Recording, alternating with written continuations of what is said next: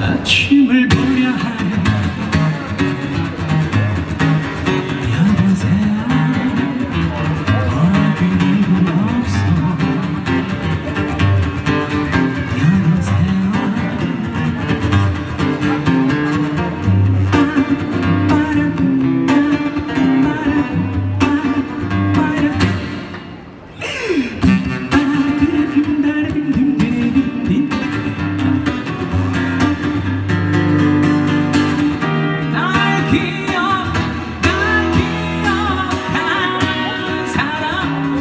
지금 모두